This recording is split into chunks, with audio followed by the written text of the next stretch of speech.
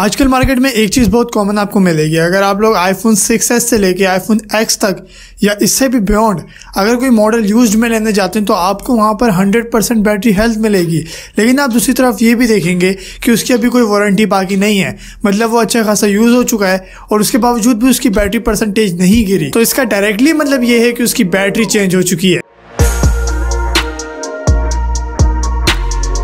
अस्सलाम वालेकुम एवरीवन, कैसे हैं आप लोग? ये आइडिया मुझे अभी आया है, ये काफ़ी टाइम मुझे पहले बता देनी चाहिए थी वीडियो क्योंकि ये बहुत कॉमन क्वेश्चन है मार्केट में और बहुत लोग कंफ्यूज रहते हैं। अगर आप आईफोन सेवन प्लस ले लीजिए एट प्लस ले लीजिए, या फिर कोई भी मॉडल ले लीजिए, और अगर आप वो यूज़ में लेते हैं मार्केट में सेकेंड हैंड लेते हैं तो वहाँ पर आप कन्फ्यूज़ होते हैं, यार हंड्रेड बैटरी हेल्थ होगी तो डेफिनेटली सी बात इसकी बैटरी चेंज होगी। और फिर लोग एटी या एटी बैटरी हेल्थ को ज़्यादा प्रेफर करते हैं, और उसमें जाते हैं और समझते हैं कि इसकी बैटरी चेंज नहीं हुई होगी।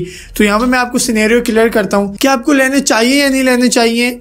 क्या इसके पीछे रीजन है? और अगर बैटरी चेंज है तो हम कैसे पता लगाएँ? सबसे पहले स्टार्ट करता हूँ सिक्स है सेवन प्लस एट प्लस और एक्स से। मोस्ट कॉमन चीज़ें यहीं पर हो रही होती है। उसके बाद तो ये सिनेरियो बहुत कम हो जाता है, लेकिन इन मॉडल्स में काफ़ी ज़्यादा बैटरी रिप्लेस वाला और बैटरी चेंज वाला काम चल रहा है मार्केट में।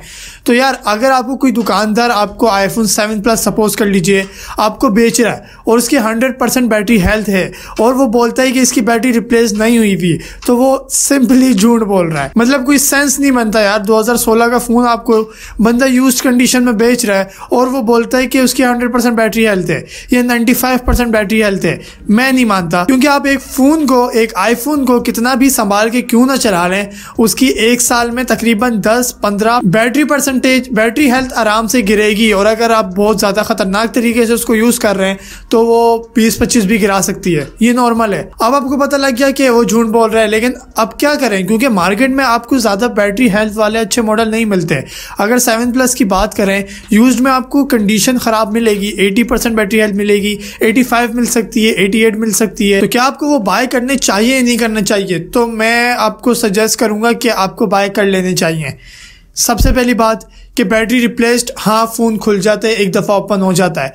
बट यहाँ भी याद रखिएगा कि फ़ोन किस रीजन से आ रहा है। अगर वो फ़ोन यूएसए का स्टॉक है, सिंगापुर का स्टॉक है, या ऐसी कंट्री का स्टॉक है, जहाँ पर एप्पल ऑफिशियल रिपेयर करता है तो आपको बाय कर लेना चाहिए, क्योंकि वो ऑफिशियली रिपेयर हुआ है। कंपनी की तरफ़ से रिपेयर हुआ है। कोई चांस नहीं और किसी फॉल्ट के। बट ये जो मिसाल में देता रहता था ये थोड़ी फीकी होती जा रही है। और अब पाकिस्तान में भी अगर आप लोकली रिपेयर कराते हैं तो काफ़ी अच्छा काम कर देते हैं। कुछ को छोड़ के, क्योंकि वो इतने प्रोफेशनल नहीं होते आपकी जब बैटरी चेंज कर रहे होते हैं तो वो इतनी जो पतला आईफोन होता है ना, उसकी वो इतनी पतली लेयर नहीं बिठा पाते। जिसकी वजह से उसमें पानी जाने का रास्ता हो जाता है एयर टाइटिंग हो जाती है सो ऑन मसले होते हैं। अब कहने का मतलब ये जो यूज़ बैटरी वाला सिनेरियो है ना, अगर किसी आईफोन की बैटरी रिप्लेस हुई हो तो आपको बाय कर लेना चाहिए यार। क्योंकि एक तो वो बहुत पुराना मॉडल है, आपको अगर बैटरी मिल भी गई eighty percentage eighty five percentage health में तो आप छः महीने बाद या पाँच महीने बाद उसकी बैटरी हेल्थ इतनी कम हो जाएगी कि आपको दोबारा अपने तौर पर रिप्लेस करानी पड़ेगी।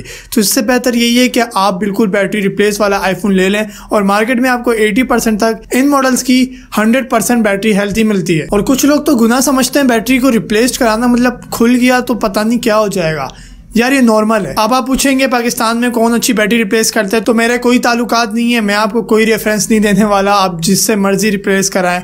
मार्केट में चले जाएँ, दुकानदार बैठे होते हैं, आपको कोई भी इजीली अच्छे से कर देगा। और आपका ये भी क्वेश्चन होगा कि आईफोन की बैटरी के प्राइसेस क्या होते हैं? तो सिक्स से एट प्लस की दो हज़ार से लेके साढ़े तीन हज़ार रुपए तक, चार हज़ार रुपए तक बैटरी रिप्लेस्ड हो जाती है। तो इन शॉर्ट कहने का मकसद ये था और वीडियो में इसलिए बनाना चाह रहा था कि जो बैटरी वाला कॉन्सेप्ट है, मैं आपको क्लियर कर पाऊँ कि लेना चाहिए या नहीं लेना चाहिए, क्या मसले आ सकते हैं। और सिर्फ़ मसला यही आ सकता है कि आप जब भी फ़ोन लें वारंटी के साथ लें सेवन डेज़ की वारंटी लें, आपको दो दिन में रिलैक्स हो जाएगा कि फ़ोन की बैटरी किस हद तक कैपेबल है और वो कितना बैकअप प्रोवाइड कर रही है। अगर आप उस फ़ोन की बैटरी में अब नॉर्मल एक्टिविटी देखें लाइक अगर 90 परसेंट से डायरेक्ट 60 पे आ गया, या पड़े पड़े चार्जिंग ड्रेन कर रहा है, या फिर सो ऑन मसले होते हैं बैटरी के तो आप उसे क्लेम कर सकें।